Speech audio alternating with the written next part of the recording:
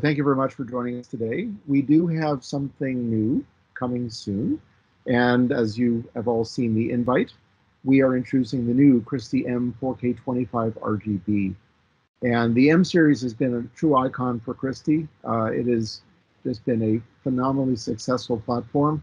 And so we're taking that icon and we're just reimagining it. So without any further ado, this is the M, the new M 4K25 RGB projector.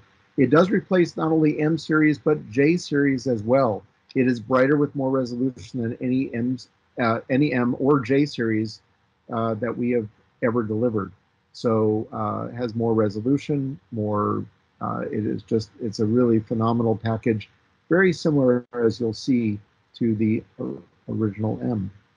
So of course the markets and applications for this product are the same core markets that we have gone after with the Griffin and the D4K40 and the SST and all the other types of platforms that we've been uh, launching with our three chip platforms. So planetariums, projection mapping, large scale events. This is just another uh, very valuable tool in that uh, in, in that opportunity. See if you can make sure everyone is muted besides myself. Um, it does have the same phenomenal, you know, spectacular visual quality of color. It is a leading form factor, meaning it's smaller than anything else that has existed in, in a pure RGB all-in-one type form factor. Just tremendous flexibility and, and power. So just a recap for, I know you've probably all seen this before. I'm going to go quickly over this, but we are really approaching the full Rec 2020 color volume, and uh, it just allows for much more color, much more realism. And you know, here's here's an example of how the um, uh, you know what we're looking at. Unfortunately, you're all looking at monitors or devices that are not better than Rec 709 more than likely. So we have to sort of fake an image uh, to get the idea across. But the colors you can see on the right hand side are much more vibrant and much more uh, much more visual, something else that's really exciting to look at.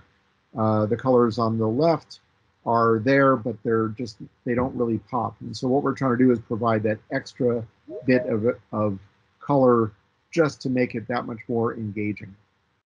And of course, all of that is because of art and nature, the real world with, with LED screens, and of course, branded content where color accuracy is very, very important. So wanted to make sure that you are aware of why all those Rec 2020 colors really make a difference. Let's get into some of the technical specifications, probably mostly why we're all here. So of course we use the, stand, the same 10 M and J and Crimson lenses that we've been offering for years, um, including the 0.37 UST all the way up to 10.4 uh, to 1 the longest two lenses require a lens hood to be added to the uh, to the system. So the additional lens cone is something added for uh, just for safety purposes, uh, but it will be able to use the full range of lenses.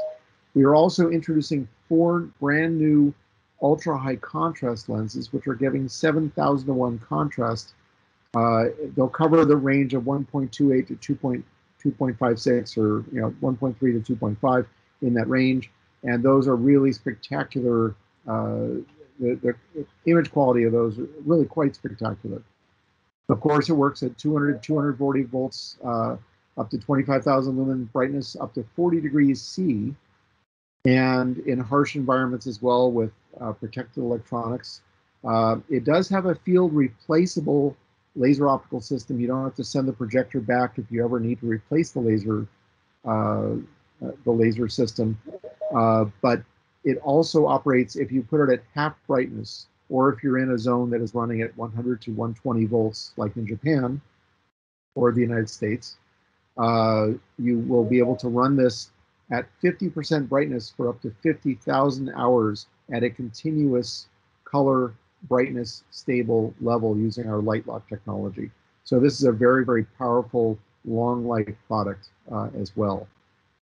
So standard fan modes, we're running uh, 46 dB in environments.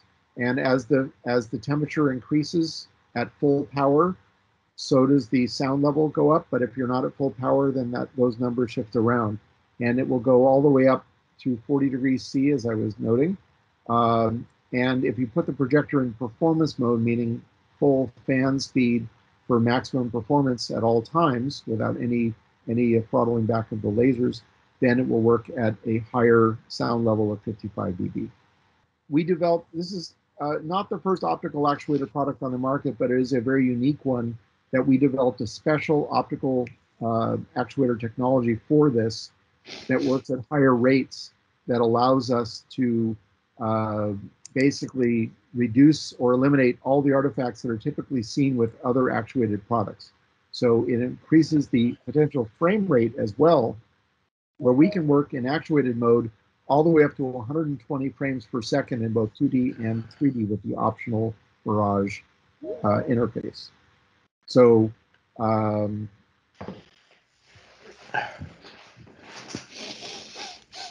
so a size comparison. So you can see it's very, very similar in size to the original M series. It is a little bit bigger, a little bit wider, and a little bit taller. It weighs a little bit more, but it's very, very similar in footprint. And it also does bolt on to the existing bolt patterns. So if you have an M series projector in place, you can unbolt it, take the lens out, put it in this projector, and drop it in place. In most cases, you'll be able to just drop in the projector and have it operate out of the box. We also do work with the existing uh, staging cages that we've had, the our, our rigging frames. So it will work in the existing rigging, rigging frames as well, but we're also working with a third party to develop a new lighter cage that will just make it that much more flexible, um, but also compatible with the existing cages. So of course, one of our uh, products that we have consist we're using consistently in our product line. We introduced it first with Griffin, is our TrueLife uh, Plus platform, which works at a uh, the same 1.2 gigapixel per second, so enabling 4K resolution at up to 120 frames per second. Um, so it will do also, if you turn the actuator off optionally, it'll do 480 frames per second at 2K. So very, very powerful platform uh, many different inputs. Uh, and we also have a Christie Link loop through. So if you had a stack of projectors and you wanted to have one cable that goes to feed both, you can do a Christie Link loop through between the output of one projector and the input of the next. We also have SDVOE as our video input uh, option that we also provide, uh, giving a lot of flexibility. So HDMI 2.0, DisplayPort 1.2, uh, many, and of course 12G HD SDI. So many different options to be able to get video into the system. So one of the features we, we introduced actually with the Griffin 4K32, which has been wildly successful, uh, we have also put into this platform. It's, it's called electronic color convergence. And what it does, it allows you to converge the red, green, and blue from each chip without having to go on a ladder or a, or a lift to be able to dial in those colors right from a remote control right in front of the projector. So you can really dial in that image quality and get really great registration between red, green, and blue. And you never have to go on a ladder or a lift to be able to keep it in, in, in that quality. Of course, we have our Mirage upgrade, as I was noting earlier. It does list for Griffin 4K32 and 4K25. Uh, the this is the standard part number. It works at in this platform. It obviously works at 4K UHD, uh, but also works at, at, at at for 2D and 3D at those frame rates. Uh, so for 60 hertz per eye in 3D, we don't need that with the Mirage SST because it already is a Mirage. But for the Mirage Pro option, which gives us the 240 to 480 frames per second at 2K and HD. Plus, of course, we also have the Christie View option included in that Mirage Pro bundle, which allows us to have uh, up to uh, up to four people seeing 2K um, and HD at 240 frames a second or at 60 hertz per eye. If it's four people, uh, it would be 60 hertz mono per person, each one with their own view, or two people in 3D. So those are the part numbers for that. And so we did have this actually at a Whisper Suite in Orlando, Florida. Uh, and we had this along with many other projectors where we had SST and we had uh, Griffin, we had microtile LED around the corner. It was a really fantastic demo, and people were really stunned how small the the uh, prototype M4K25 was, making such a fantastic image on the screen. And we also had it at InfoComm China. Now, InfoComm China was a tech preview, it was not a product launch. We're still not quite at launch day, but we're getting closer to it. There's a data sheet that was sent out. I believe it will also be followed up after this uh, session. You'll get the preliminary data sheet, and it really talks about all the details and lists all the lenses and things. So please, you know, keep uh, keep an eye out for that. Very good tool, and just some other images. So we use, we use the same kind of uh, uh, interface that we've had on our other platforms. Uh, so you can see the, the standard interface control that if you're familiar with uh, the, the Griffin, it's identical to the Griffin, has the same input options as the Griffin. Um, and all the air intake is on the other side. So we're very excited about what this platform can do. The exhaust all goes out the rear. This really is a super compact all-in-one 25,000 lumens with MJ and Crimson lens compatibility. So it really is double the brightness of M, has double the color volume of the old M, and four times the resolution of what we used to do. So with infinite possibilities. So this is really a phenomenal platform that really allows us to take this into whole new opportunities to bring it to a new generation of, of customers. So with that, I want to introduce uh, Rashub Nayar. Uh, he is the uh, sales director of, of, Enterprise India. And uh, Rashub, if you want to say a few words, and then we'll get into questions. Uh, thank you very much, uh, Larry. Uh, Steve, is my voice audible? Yes, your audio okay. is good. Okay, thank you very much. Uh, good morning and uh, good evening to all of our uh, customers. We hope all of you are doing safe and well. note of gratitude to um, all of you for your support all through these years and especially during the last two years. It's been a tiring time for uh, our industry.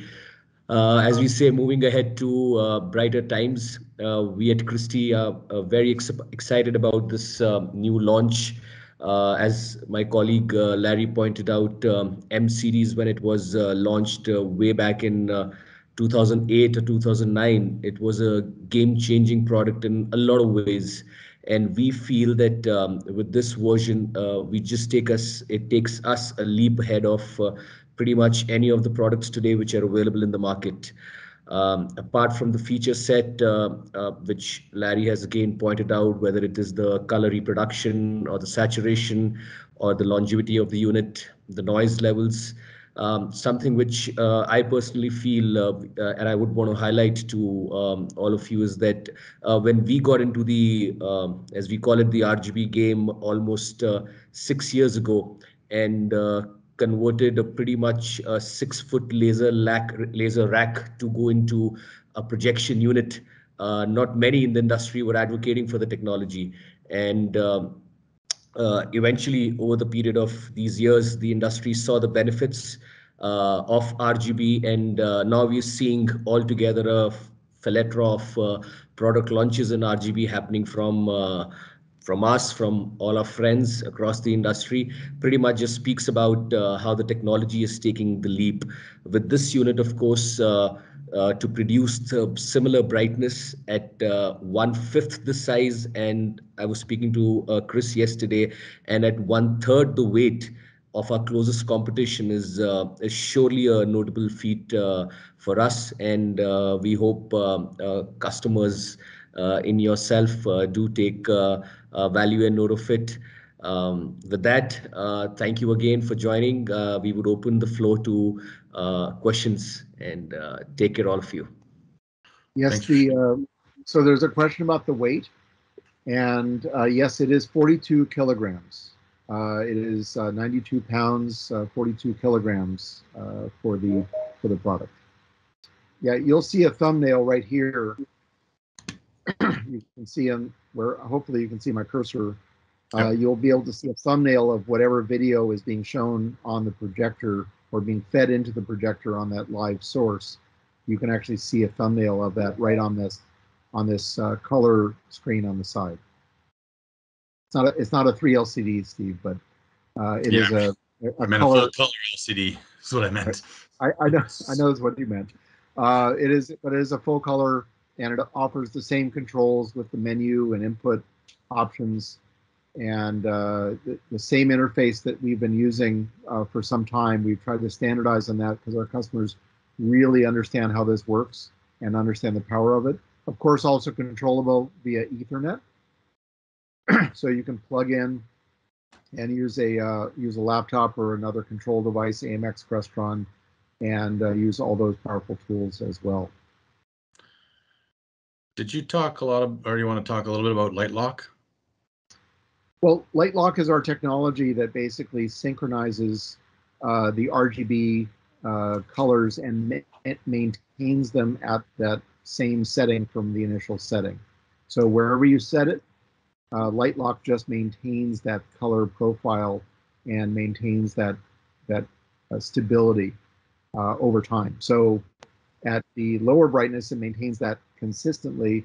At a higher brightness, it will maintain the color. If you're at full brightness, eventually the brightness will come down as the lasers age, or you can run it at a mid level and maintain that for a much longer period of time, regardless of temperature and other factors going on. So as I mentioned, you know, we've done hardening of the electronics for harsher environments, uh, for high humidity environments, things along those lines. Uh, but the, the projector is really designed for ultimate flexibility and uh, and usability and having a, a low uh, low maintenance type of thing. And that's what Lightlock really does. It gives us that low maintenance opportunity. And it also offers built-in Christie Twist again, which was actually uh, originally launched, I think, with the original M series. Uh, correct. Yep. Uh, we used to have Twist as an option. Uh, Twist is a uh, standard feature that we've been offering since we launched the original M and then later the J. Uh, and all of the other products that really come since uh, Twist uh, with Mystique capabilities are built into the projector. So uh, the Mystique is an option with an optional camera, and that's a, another accessory that you can get. But it works with the Twist hardware and software that's built into the projector. And of course, Twist, uh, there's a basic version of Twist that you can download for free that works right with the projector, so you can warp and shape and blend the projectors together all without having to buy any other accessories. All that is built into the product. And additionally, Mystique Lite is also uh, an optional download that comes at no extra cost.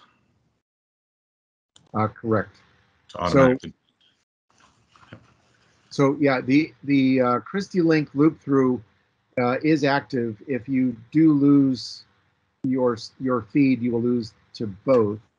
Uh, so you would, if you're in a high demand redundant environment, you might run two signals, one to each projector, uh, but you don't you're not required to do so.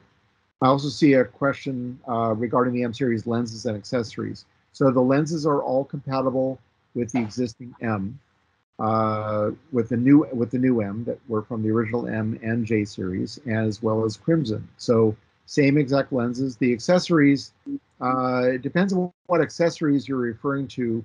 Uh, the cage uh, and mounting those would be completely compatible.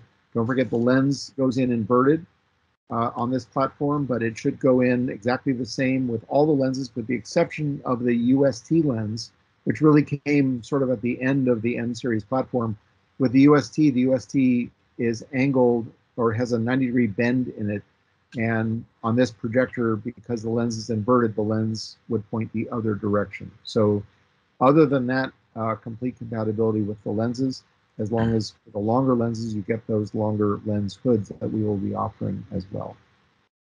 Larry, there's a question about uh, manual convergence versus the electronic digital convergence. Uh, we've actually found with the Griffin platform that it was so successful there was no need to run mechanical convergence beyond what we do at the factory because it was redundant. So Steve, uh, I assume the units are ready for shipping as of now? No, they are not actually. In fact, uh, we're looking at mass production in late November. Okay, great. So to that point too, um, the regions have uh, and are being populated or have been populated with uh, demo products. So it's recommended that you request any uh, you know any demos from your regional sales manager and uh, to to try and essentially get in the queue, so to speak. Um, I will have data on the airflow. I'm not sure about exit temperatures, but I uh, I will get a, uh CFM. The CFM data is still in progress from engineering. I don't have that data, but we will get that information. It is not a particularly hot projector. Uh, when we run the prototypes, it was actually quite cool with the airflow uh, flowing through the system. So um, it is not uh, not a high BTU output, but we will get the BTU rating and uh, the airflow requirements for the product. We will get we will be issuing that information later. And um, what um, is this and yes, the and as I mentioned earlier, the existing uh, customers that have ILS one, what we're calling ILS one lenses, the lenses that were used on MJ and Crimson, uh, yes, those will work uh, directly on this.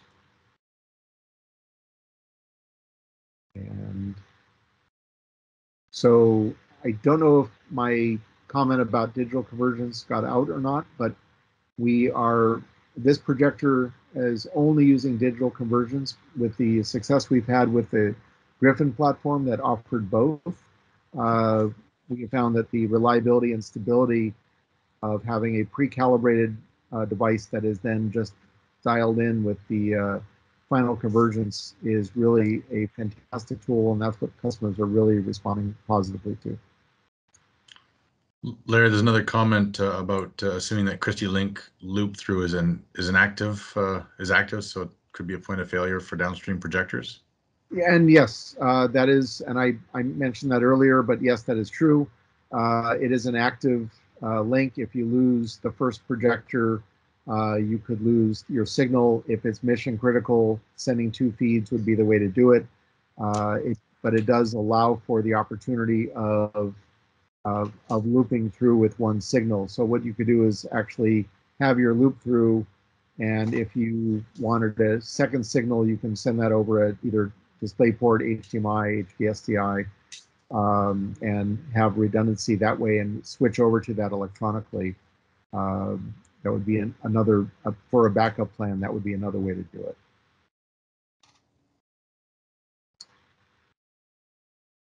And with, with that, I thank everyone very much for joining.